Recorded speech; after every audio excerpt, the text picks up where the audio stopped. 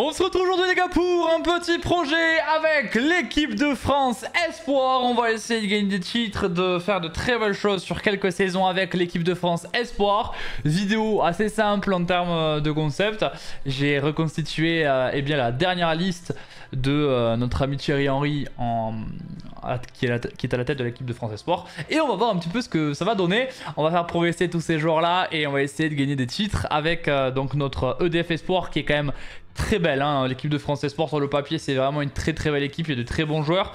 Alors, on a euh, au niveau des joueurs, je vous fais la petite présentation. Il y a 23 joueurs dans cette équipe, forcément, vu que les listes c'est 23 personnes. On a euh, qui est un, qui est un jeune gardien je crois au Paris FC de base. On a Guillaume Rest, le Toulousain qui est là également, qui est très intéressant, qui fait euh, un gros gros début de saison au TFC. Bon, il y a Lavalée qui n'a pas été appelé dans la vraie vie, euh, c'est le gardien de Dijon qui a été appelé dans la vraie vie, qui joue en national avec Dijon, mais forcément il est à Dijon et le national n'est pas dans le jeu, donc j'ai remplacé par, euh, par. Voilà, donc on a mis le petit Lucas Lavalée. Ensuite, Quentin Malin, le Nantais qui est là avec Bélocian, le René. On a Ismaël Doukouri qui peut jouer DC ou MC, le Strasbourgeois. Malsi le monégasque, Isaac Touré l'orienté, Loukeba l'ancien lyonnais, il est Nioro qui est euh, un jeune joueur très intéressant du LOSC. On va peut-être essayer de s'appuyer sur lui vu qu'il a que 17 ans. Malo Gusto et Sildilia ensuite au, poste de, latéral droit. On a deux latéraux qui sont euh, à l'étranger, en Allemagne, un en Angleterre. Gronadoua qui est un ancien de Santé il me semble. Je crois que c'était de Santé, soit du PSG, soit de Santé, mais je crois que c'était de Santé. Et qui est euh, en Autriche, à Salzbourg. On a Le Penant ensuite, euh, l'ancien Canet euh, et le, Lyonnais actuel. Hugo Choku qui est là également, qui, euh, qui est à Chelsea. Cherki que vous connaissez, Milo que vous connaissez je pense aussi. Kliouche qu'on voit quand même beaucoup cette année en Ligue 1. Bradé Barcola, l'ancien Lyonnais. Et ensuite en attaque, on a des quatre attaquants de très très grand talent. Giorgino Rutter, l'ancien René. Kalimundo l'actuel René, l'ancien parisien, Eli Wahi, le Lançois, et Matistel, euh, eh qui était euh, lui aussi à Rennes. Comme quoi, le stade Rennais, ils aiment bien former les buteurs, hein, ou en tout cas, ils en ont beaucoup qui passent par chez eux. Donc, on a déjà des joueurs qui sont très forts à la personne de Wahi, Loukeba, Gusto, Barcola. Il y a trois Lyonnais dans, les quatre, hein. euh, mais on a aussi des joueurs très très prometteurs hein, qui sont très jeunes, notamment bah, Rest, Euro, qui sont déjà très forts à, seulement 17-18 ans. Donc vraiment l'équipe est, très très intéressante. On leur a mis tous un plan, un plan de développement pour qu'ils progressent. On les a mis, vous le voyez, en Ligue 2 euh, à la place euh, eh bien, de Dunkerque. Voilà, j'ai remplacé le club de Dunkerque par, euh, eh par l'équipe de France Espoir. Vous avez l'équipe sous les yeux. Bon, l'équipe de France Espoir elle joue de différentes manières. Des fois c'est 4-3-3, des fois c'est 4-2-3-1. Là je suis parti sur un 4-2-2-2 dans l'idée que bah, ce 4-2-2-2 c'est ce qui met le plus en valeur je trouve les qualités de l'effectif. Voilà, fallait bien choisir un, dispo donc j'ai choisi celui-ci. Voilà les gars, euh, peut-être le défaut de l'équipe c'est qu'il manque peut-être un petit peu de milieu de terrain. Voilà, c'est peut-être le seul défaut, mais après euh, l'équipe euh, on the paper est très très intéressante. Voilà, je pense qu'on peut faire de très belles choses avec cette équipe de France Espoir. Ce qu'on va faire les gars, c'est qu'on va se retrouver à la fin de saison pour faire le, le bilan de la saison 1. Si vous aimez le concept, je vous invite à liker, commenter, vous abonner et dites-moi en commentaire ce que l'on va gagner dans les allez, 3, 4, 5 prochaines années. Mon partenaire GoFood fait beaucoup de promotions en ce moment pour le Black Friday. Il y a une énorme promo jusqu'au 22 novembre justement ben, pour le Black Friday. Sachez que vous avez des maillots offerts en plus de vos commandes en ce moment sur le site AgoFood. Le site AgoFood, ça vous propose tout type de maillots, de, de, survêtements. Vous avez les shorts, les chaussettes, vous avez tout sur les maillots euh, eh bien, de la nouvelle saison. Notamment, si vous vous achetez pour plus de 55 euros, vous avez un maillot offert. Euh, vous avez deux maillots offerts pour plus de 99 euros, trois maillots pour plus de 159 euros et quatre maillots offerts complètement gratuits pour plus de 199 euros sur l'une de vos commandes. C'est très simple les gars, si vous voulez profiter des maillots bonus et que euh, vous, vous remplissez l'une de ces conditions, imaginons vous avez une commande à 56 euros, et eh bien euh, vous avez le droit à un maillot bonus en plus. C'est simple, imaginons c'est le maillot du réel que vous voulez, et eh bien vous collez ici le maillot que vous voulez gratuit, parce que vous pouvez choisir le maillot que vous voulez gratuit, vous le collez et dans les commentaires ici de votre euh, panier, vous mettez eh bien, euh, le maillot que vous voulez avec votre taille, par exemple M, voilà c'est écrit juste là, donc ensemble Real Madrid 2023-2004 et votre taille, et donc vous allez avoir le maillot gratuit du Real en plus des, achats que vous faites dans votre panier. Voilà, n'hésitez pas, vous avez le lien en description. C'est la meilleure promotion de l'année, donc c'est maintenant qu'il faut se faire plaisir. La première saison s'achève les gars. Alors sachez que déjà notre équipe, on était en 16ème de finale. On a gagné Guingamp, on est allé en 8ème. En 8ème on a sorti Strasbourg. En quart on a sorti Concarneau dans un tirage vraiment favorable. Mais malheureusement, on a perdu en demi-finale. Donc, ce qu'on peut dire déjà, c'est cette première année, notre France Espoir qui fait demi-finale de Coupe de France. C'est quand même plutôt beau. Le LOSC ira jusqu'au bout. La Ligue 2, eh bien, écoutez, on fait deuxième avec euh, notre euh, équipe de France Espoir. Euh, on voit que l'équipe de Annecy est complètement buggée. Hein. Au-dessus, là. Est-ce que c'est buggé ici aussi? Ouais, team name assez beau ruel. Voilà. Nouveau bug dans le jeu. Voilà, encore un. très bien. Big up à tous les, supporters d'Annecy. C'est terrible que votre club ait ça. Vraiment terrible. Surtout que c'était pas le cas, c'était un nouveau bug, hein, j'ai l'impression. Bref, peu importe. C'est une aparté. Donc avec Dunkerque, on a fini deuxième, vous le voyez, donc très bonne saison. On finit derrière Saint-Etienne, ça montre vraiment que Saint-Etienne a une bonne équipe. Et on est directement euh, qualifié dans les deux pour monter directement. Donc ça c'est la plutôt bonne nouvelle, c'est que eh bien, on va pas rester en Ligue 2 15 ans. Hein. On va rester une seule saison en Ligue 2. Les joueurs forcément ont progressé dans cette première année. On a nos premiers jours à 80, donc Eliwai qui a pris son plus 4, va la même chose, Gusto la même chose. Sachez que je simule en plus par calendrier, donc euh, c'est pas moi qui décide des compos, tout ça, c'est vraiment le, jeu qui décide. Cherki plus 4, Barcola plus 3, Windows c'est la même chose. Quentin Marlin plus 5, hein, il est un peu seul sur le couloir gauche, donc euh, il a bien augmenté. Le penon Hugo Choku plus 4, Milo qui a pris, il a pris plus 5 quand même, hein. plus 4 pour Gourna, plus 3 pour les Nioro, pour euh, Sildia qui a bien augmenté aussi. Le plus 5 d'Akliouche, belle progression de sa part également. Euh, et eh ben écoutez, ça a bien monté. Bélocian plus 2, celui qui a le moins augmenté au final dans la saison. Mais sinon, tous les autres ont plutôt bien augmenté. Le meilleur buteur de la saison, c'est Eli avec 23 buts. Bon, c'est pas surprenant.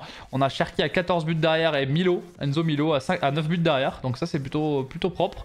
Kalimwendo qui est là aussi à 8 buts, euh, alors qu'il a fait 18 matchs. Euh, le deuxième buteur qui a un peu tourné. Et euh, le meilleur passeur, c'est Gourna Doua Ok, pas mal. Alors au niveau des temps de jeu, euh, bon, Gambadio qui n'a pas joué un seul match, le gardien numéro 3 euh, dans le jeu dans, la hiérarchie. Belocian qui a fait que deux petits matchs, Matistel c'est 3 matchs, et eh ouais, il a peu joué. Hein. Euh, Matsima qui a fait 4 matchs, Isaac Touré c'est 7 matchs, donc vraiment euh, le jeu n'a pas envie de faire jouer tout le monde. Hein. Qui a quand même fait 13 matchs de Ligue 2, donc il a quand même beaucoup joué, le jeu le fait jouer. Kalimwendo 18, Ismaël Doucouré 19, Barcola 21, Silvia 21, voilà, et après il y a quand même des titulaires un petit peu indiscutables vu que euh, bah, Le Penang qui a fait 42 matchs euh, sur 42 possibles. Donc il a joué tous les matchs. Le Penang il joue tous les matchs, voilà, c'est comme ça. Ok, bon il y a quand même quelques joueurs qui sont indéboulonnables, mais globalement euh, tous n'ont pas été non plus titulaires à, chaque fois indiscutables. On va mettre Kalimundo peut-être à la place de, de Barcola. Je sais pas, après, euh, ouais, peut-être que je laisse AVD pour euh, que ce soit plus polyvalent. Euh, voilà l'équipe du coup à la fin de cette première saison, les gars. Donc elle a, elle a augmenté hein, déjà. C'était pas étonnant de l'avoir augmenté. On va voir au fil des saisons ce qui se passe. Mais pour l'instant, c'est pas trop mal. On va voir déjà en Ligue 1 ce que peut donner l'équipe. Allez, on est parti pour la fin de la deuxième année, les gars. Donc, on a accédé directement en 16ème de finale. Malheureusement, on s'est fait sortir par Bordeaux d'entrée. Bam compliqué. Bordeaux qui nous élimine, donc euh, on, fera rien, on fera rien cette année en, coupe. La Ligue 1, première année en, Ligue 1, on fait dixième. Alors c'est pas trop mal, hein. on a une équipe en, structuration, tout ça, sans jeunes, pas d'expérience. Euh, et, l'équipe, voilà, elle n'a pas la connaissance du haut niveau. En tout cas, ils n'ont pas tous la connaissance du haut niveau. Donc dixième, c'est pas trop mal. Voilà, on a perdu contre les gros, mais on a gagné clairement tous les faibles dans tout, euh, tout, au long de la saison. Toutes les équipes plus basses que nous, on a réussi à les battre. Donc ça, c'est une très très bonne chose. Euh, mais bon, les dirigeants, les gars, ils nous ont donné des objectifs cette année. Ils sont complètement... Hein, euh, se qualifier pour l'UFA Ligue des Champions. Voilà, c'est juste ça qu'ils m'ont demandé. Hein. Voilà, première année en, en Ligue 1, ils me demandent de me qualifier pour la Champions League. C'était des, objectifs un petit, peu, un petit peu compliqués, surtout que je peux pas recruter. Donc il est clair que je vais très certainement, très certainement me faire virer à un moment donné. Tant pis, on suivra l'équipe euh, et, puis, euh, et puis on verra bien ce qui, s'y passe. Donc on a Wai, les gars, qui a euh, pris encore plus 5 dans la saison. Alors je vous montre les stats ici. Donc le plus 5 dans la saison, 87 de général pour lui. Lukeva c'est 82, de, enfin 83 plus 2 de, général. Cherki plus 4, Gusto plus 2, Merlin c'est plus 3, Gourna qui a pris plus 4 quand même. Hein. Donc c'est pas mal. Pas mal de progression quand même. Hein. Ça continue de, de, très très bien monter, même pour tout le monde. Et les stats donc 23 buts pour Roy qui, en inscrit encore énormément. Euh, à 15, cette saison il a beaucoup plus joué que l'année passée. Et Ryan Cherky qui a mis 10 buts, donc euh, encore une belle saison pour Ryan Cherky qui est meilleur qu'avec l'Olympique Lyonnais. Euh, voilà, les passes D, c'est Wai le meilleur passeur. Et euh, au niveau de, bah, de l'équipe euh, qu'on pourrait qualifier type, on a Sata, Kaliwendo et Liwai. On a même le petit, euh, le petit Barcola juste derrière qui a 81 en général, donc c'est quand même plutôt propre. nous avons ensuite Cherki, Enzo Milo, c'est plutôt, plutôt intéressant, de très bons joueurs. Gournadois, Le Penant, ensuite en milieu défensif. Les deux, pareil, sont très forts, franchement, les deux sont très très forts. Enfin, assez complémentaires.